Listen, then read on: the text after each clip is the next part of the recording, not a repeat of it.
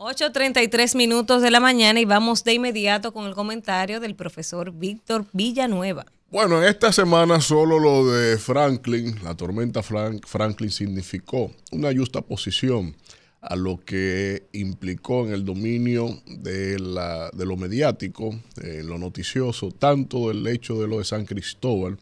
como del hecho del el anuncio de la alianza eh, que conforman eh, tres, las tres principales organizaciones eh, políticas de oposición, tres partidos mayoritarios de cuatro que se han alineado para establecer alianzas en lo municipal, en lo congresional y para la segunda vuelta electoral en, el, en el nivel presidencial. Esto es una resultante de muchas cosas, de primero sendas reuniones entre estas organizaciones, en lo que significa también derrumbar muchos factores de desconfianza de egos entre sí mismos y también, por otro lado, o desde el otro lado, una lucha permanente por parte del gobierno y del propio presidente Luis Abinader de que eso no se materializara. El, el gobierno se esmeró desde meses atrás de generar todo un status quo entre los partidos minoritarios, sobre todo, y que algunos están muy bien conectados entre algunas mieles y pensiones por otro lado, para que se mantengan alineados a lo que es el oficialismo en la República Dominicana. si yo no quiero enunciar todos los pasos que hizo el gobierno, el propio presidente Abinader, el presidente de la Cámara de Diputados. Yo no, yo no quiero enunciar eh, esa agenda marcada diaria que ellos eh, intentaron de que si había una reunión con un presidente de un partido y que saliendo de esa reunión recibían una, una llamada ahí mismo desde el Palacio Nacional y que ven que ya fulano está en tu casa esperándote y que de un momento a otro eh, aparecían unas, unas mieles ahí, unos barriles de mieles de inmediato, mes por mes, y que luego de las mieles te aparecían también pensiones o resoluciones de algunos temas muy particulares a los presidentes de los partidos que están con el gobierno. Eso, claro está, que ya va a tener otro debate más adelante sobre la repercusión de cómo se ha usado la institucionalidad del Estado dominicano, muy a pesar de los enunciados que hace hasta el propio presidente del Partido Revolucionario Moderno, José Ignacio Paliza, de que eh, no se usarán eh, los recursos del Estado, pero tal vez se refiere a que no lo van a usar después de las elecciones de mayo del 2024, porque ya eh, cuando dejen de ser gobierno es ahí que no lo van a usar, porque de entrada, desde hace meses ya, ya sí lo están usando para estos afanes de la repostulación, pero ellos tienen el sartén por el mango y eso no, no vamos a discutir el FAU en el juego de pelota. El FAU es FAU y eso quedó ahí, a seguir pichando. Entonces, ¿qué si queda con respecto a esto? Miren, el gobierno tiene una situación muy difusa. El andamiaje eh, que se necesita para usted montar una repostulación de un mandatario, el gobierno tiene muy pocas cosas y dentro de esta solo tiene presupuestos para comprar a los presidentes de algunos partidos políticos que se han dejado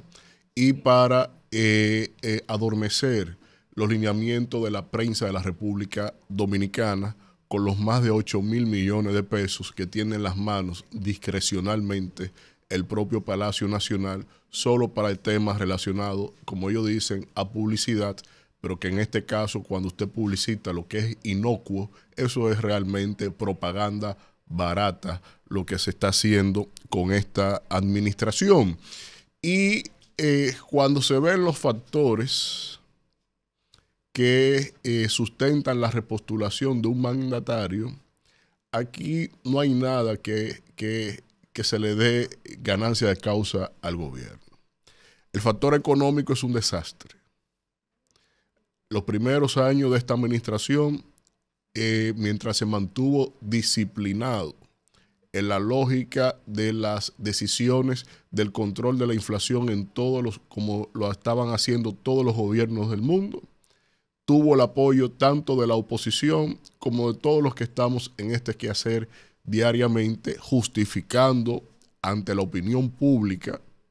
Yo hice varios varios comentarios de que sí eran, es necesario mantener la inflación mediante lo que es el aumento de las tasas. Esa es la vía más rápida que se tiene por parte de los bancos centrales para controlar a efecto inmediato prácticamente la espiral de la inflación. Y eso, mientras el gobierno se mantuvo en esa disciplina, no había señalamientos negativos en cuanto a lo que era el desempeño y el control de la macroeconomía. Se salió de ese carril y obviamente ahora estamos en un escenario de dar bandazos con el tema relacionado a la recesión económica que se tiene en República Dominicana, al decrecimiento, la desaceleración más bien de la economía, con una caída del crecimiento a pírricos 0.1% prácticamente, y que esto, mientras la economía no crezca por encima de un 4% al año, en, en el peso que tiene la correlación deuda externa y presión tributaria en el país, esto significa que el gobierno tendrá, que ampliar tanto el déficit fiscal como se quedará también sin liquidez y ni hablar para las, para las razones por las cuales este gobierno se ha endeudado, que no ha ido a la economía netamente, sino a gastos corrientes o a pagar intereses, como se está haciendo, de tomar dinero prestado para pagar intereses, y eso es lo más parecido para un gobierno de vivir del fiao. Pero cuando usted ve también el andamiaje institucional, lo que ha significado en esta administración, que no por la coyuntura actual que estamos en precampaña, no, es que desde un principio este gobierno ha lacerado todo lo que es la institucionalidad de la República Dominicana, como es el caso, por ejemplo, de usted nombrar a alguien por decreto en una institución que se requería que fuera un ingeniero por ley y su decreto contravenía a la ley en la, jerarquía de normas, usted, el decreto queda nulo. Pero esta administración lo que hizo fue, con el caso de INAPA, fue, no, cambien la ley para no contradecir el decreto. y así lo hicieron. Como lo hicieron también como el tristemente célebre inanimado director de Proconsumidor, que la propia ley de Proconsumidor prohíbe que el incumbente sea un, político y tenga actividad partidaria activa en alguna organización política y este señor se, aparte de, las burradas que ha cometido desde esa posición en opinión pública, lo que se ha visto es que, eh, eh, que hasta aspirante fue a la presidencia del Partido Reformista Social Cristiano y que salía de Mediatur a, a promover sus aspiraciones ostentando la posición de director de esa institución. Entonces, ¿qué mayor transgresión a la norma que esa? Pero eso por enunciar casos del inicio. Porque si nos vamos a los contextos actuales,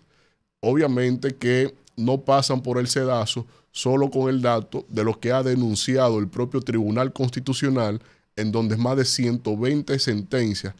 están en condición de desacato por parte de la administración de este gobierno.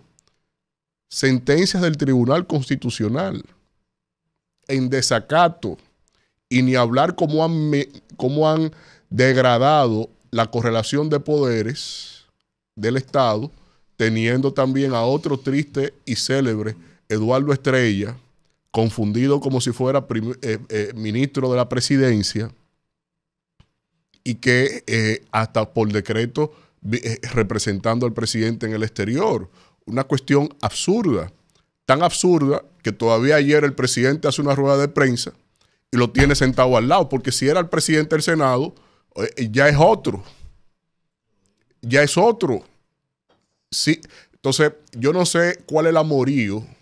entre Luis y Eduardo Estrella, pero se gustan mucho. Yo no sé cuándo fue que se dijeron el sí pero a doña Raquel que averigüe ella qué es lo que pasa ahí, pero ahí pasa algo, porque no puede ser. Entonces, cuando usted ve también el factor social de la gente, cómo están los degradados los servicios públicos de este país, cómo han ido en detrimento de, de todo el mundo, todos los servicios públicos en desgracia. ¿Y cómo es que tú le vas a decir a la gente que usted quiere repostularse? Pero cuando usted evalúa también el tema relacionado a la seguridad del país, a la seguridad ciudadana, otra cantinflesca mayor, porque es fruto de la improvisación y del contubernio que él tenía con Rudolf Giuliani, preso también con Donald Trump en Georgia. Tú tienes ahí que tú, una de tus principales banderas de campaña, tú la tienes migrada, minada, que no puede decirle a la gente, atendí esta problemática que no te causó con sorpresa, por eso fue tema de campaña. Usted sabía que iba a administrar ese problema. Pero cuando usted ve que también tú tienes un problema en términos de, de tener el criterio de la administración del Estado, cuando en medio de una pandemia, en medio de una inflación, usted viene y mete el pacto eléctrico y solo cumple en el pacto eléctrico lo que va en detrimento a las colectividades, aumento de la tarifa eléctrica, pero la reducción de los costos operativos no lo hace. La reducción del déficit eh, de, eh, de subsidios no lo baja. Lo que es la el aumento de la generación por parte del Estado tampoco la aumenta. Solo se decanta subiéndonos las tarifas y regalando PPA, contratos a proveedores privados para que ellos sigan con la panacea del monopolio del costo de la tarifa, porque era la razón estratégica de Punta Catalina. Doblegarle en el costo producción energía, la mafia de las tarifas que tenemos, que en este país no la aguantamos. Pero ese no fue el objetivo de él. El objetivo de él fue meter PPA a los suyos, a los que le financiaron su campaña, para que tenga esa que ahí por 30, 40 años en contratos eh, de enfiteusis ya. Y tú tienes entonces que nosotros no podemos conseguir ni un contador, no podemos conseguir ni un cable que se dañe y que haya que sustituir para yo tener servicio en mi casa o en mi empresa. Y tengo entonces que pagarte la tarifa como a ti te dé la gana, como dijo una auditoría de, de, de este, que la estaban ponderando no por consumo, sino por en función, estaban distribuyendo la pérdida entre los que sí pagaban la luz. Oigan, qué semejante aberración. Hay, hay videos ahí en las redes de gente que pagaba 900 pesos y están pagando 13 mil. Entonces, yo quiero saber cómo el presidente, con un partido que lo cubrió, al cual él cubrió por tres años, que le dieron de lado a todo el mundo, que no cumplió con el mandato eh, moral de que los que trabajaron por mí en algo participen del Estado, en algo. Le dieron la espalda, nombraron a Popis, nombraron a sociedad civil, nombraron a quienes le dio la gana, menos a sus dirigentes. Y ahora cobra relevancia por esa alianza que como ya no tienen con quién crecer, ya no le quedan partidos a los cuales sumar ni comprar.